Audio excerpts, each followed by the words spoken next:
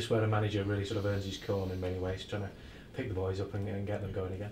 Well, do you know what? I mean, they're a terrific group of players, so they'll not need much picking up. They're very conscientious, they're very hardworking.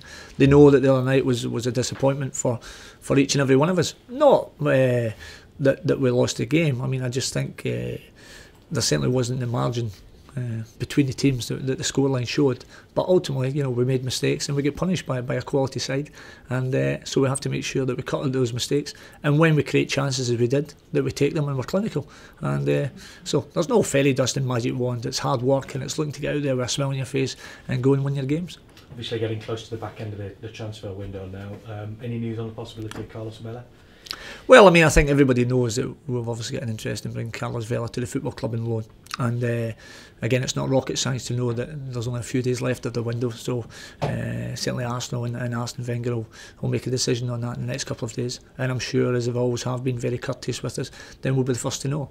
And if it's the case that we get the green light, then we'll look to act upon it. And, and if not, then, then there we go. The report linking you with Shaun Wright-Phillips as well. Is there anything in that? Yeah, I mean, listen, I think there'll be reports linking us with a number of players. It's fair to say that uh, we are in the market to try and bring one or two in. Uh, could sit here and be evasive and what have you, but we would love to, to add to the squad we have. It would be remiss and, and naive of me really to, to be mentioning other names. Uh, Carlos Vela has been mentioned because it was it was well documented at, at the outset. Uh, but as I say, to mention anybody else, you know, we're not the biggest and, and most powerful club in the league. So we certainly wouldn't want to be losing out to, to anybody else because we've made our targets known.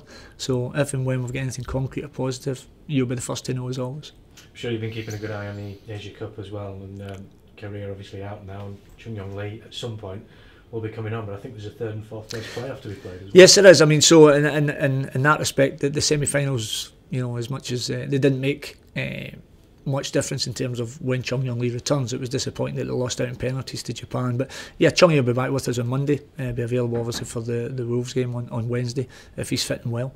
And, uh, and we'll take it from there.